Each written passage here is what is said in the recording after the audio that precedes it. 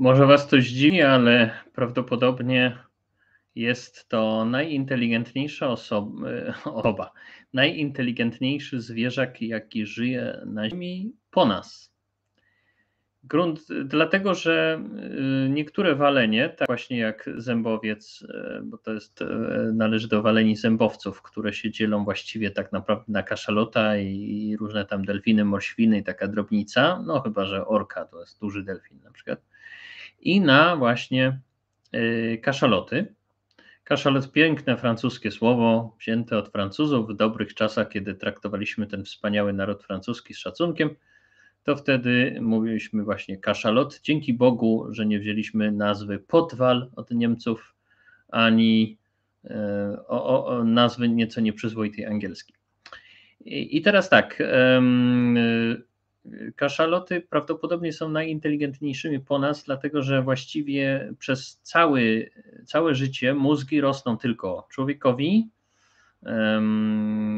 albo duży kawałek życia, człowiekowi, małpom niektórym, e, waleniom niektórym, w tym kaszalotowi, który ma największy mózg chyba w ogóle z wszystkich zwierząt, może płetwal ma większy, ale w stosunku do ciała to chyba kaszalot jest inteligentniejszy i um, no przede wszystkim też kaszalot musi polować, więc na pewno zwojów ma więcej, a płetwal tylko e, otwiera gębę, nie? Teraz, i, I teraz jest ta kwestia, że jemu rośnie ten mózg i on ma do 80 ton waży, tak? Nie mózg, tylko cały kaszalot, więc e, jest jakby automatycznie największym mózgiem i jeszcze w dodatku rośnie z wiekiem. I teraz e, zawsze mnie dlatego kaszaloty fascynowały, właśnie ta inteligencja ich. One są dosyć mało zbadane, bo nurkowanie z kaszalotami, no to trzeba mieć dosyć dużo um, samozaparcie i odwagi. Oni, one, e, jak się między nimi nurkuje, można być omyłkowo przez nie e, połkniętym. One czasami, jak widzą nurka, to robią takie, oni mówią, że to są takie new age'owe podrygi, takie robią coś takiego. O, o, o, tu i tak przodem, coś takiego, jak widzą nurka. I te new, new age'owe podrygi są um, takie dosyć charakterystyczne dla nich. Y, dlaczego kaszaloty są takie wyjątkowe, że ja nawet kiedyś zrobiłem taką improwizowaną piosenkę po francusku, po Le Cachalot, wiadomo. Y, wzięta nazwa z francuskiego, to się samo narzuciło i on, co to było coś takiego, y, mm, coś tak było tam, bonjour, bonjour, bonjour, je suis le cachalot, je suis le cachalot, je fais de natation en recherche de calamar, je plonge, je plonge, je plonge en recherche de calamar, czyli nurkuję w poszukiwaniu e, w poszukiwaniu e, kalmarów. Nie mam kalmara, mam tylko ośmiornicę, ale powiedzmy, że on tutaj ją zjada, nie? O. I teraz tak, um, oczywiście ośmiornice próbują się bronić, próbują zatykać otwór oddechowy kaszalota, próbują ranić go tymi swoimi um, przyssawkami albo coś, próbują chować się za atramentem, ale to najczęściej guzik daje. Kaszalot troszkę na oślep, ale mający tą swoją echolokację, dziabie mocno.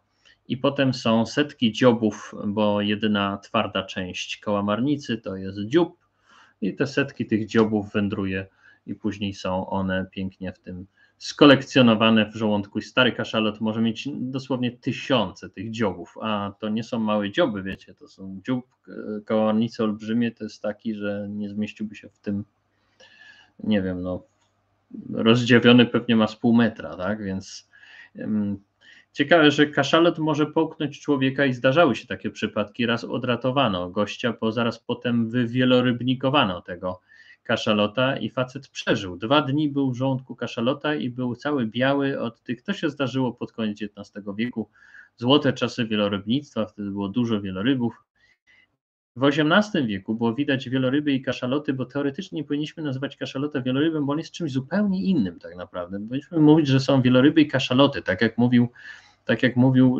Jules Verne, który opisywał bitwę e, kaszalotów, atak kaszalotów na e, sejwale, czyli na zwykłe takie mm, humbako podobne wieloryby fiszbinowe i um, on mówił właśnie, że kaszaloty są tutaj takie strasznie niebezpieczne na tych wielorybów, a to nieprawda. Kaszaloty nie atakują wielorybów i wiele fikcyjnych im cech przypisał.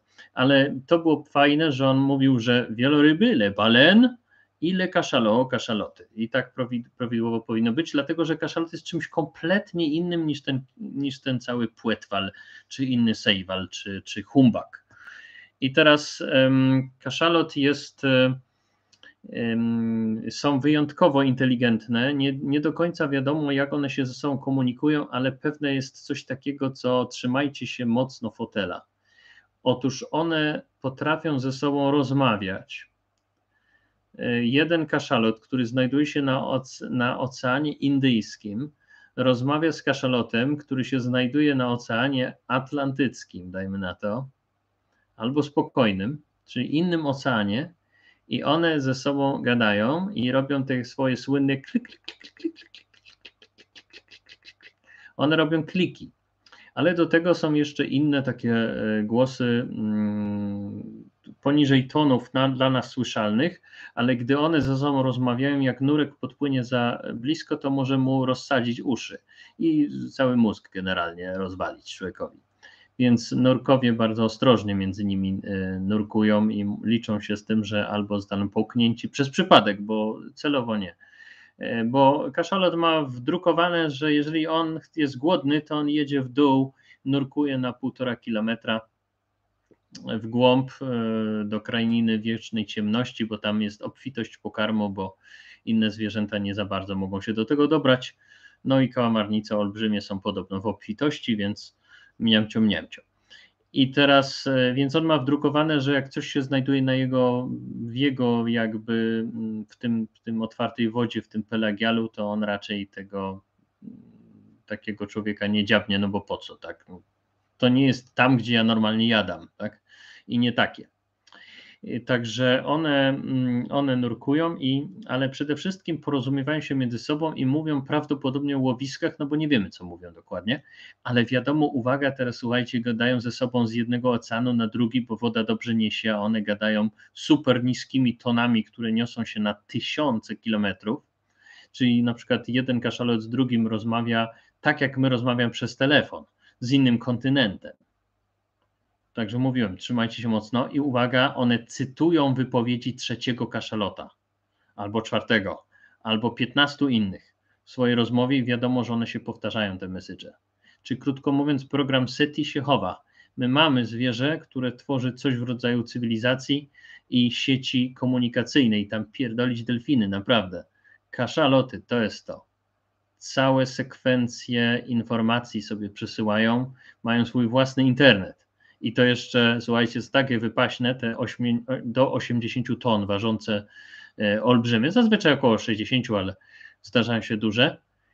One ze sobą rozmawiają i jeszcze w dodatku są tak osą, tak, są takie fantastyczne, że one mają same sobie, są swoimi własnymi modemami i swoimi własnymi kanałami komunikacji, która jest na, no, na bardzo wysokim poziomie. Także in, in, prawdopodobnie informują się nawzajem o łowiskach, bo widać, że się zwy, zmieniają ich zwyczaje po tych komunikacjach i wiadomo, że cytują bo e, wypowiedzi innych kaszalotów, bo można je po tych ilości klików i mruknięć, e, tak jak jakby się Morsa czytało, alfabet Morsa, nie, nie Morsa zwierzę, to alfabet Morsa, cyt, można tę sekwencję odnaleźć jeszcze raz. Także coś nieprawdopodobnego, naprawdę program SETI się chowa.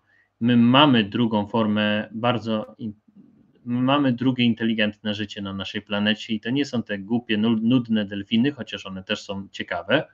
Potrafią na przykład powiedzieć informacje, czego nie ma w basenie, czyli są zdolne do prostych abstrakcji, ale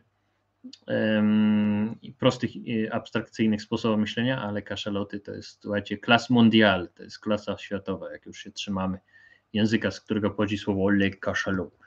Merci pour votre attention i wszystkiego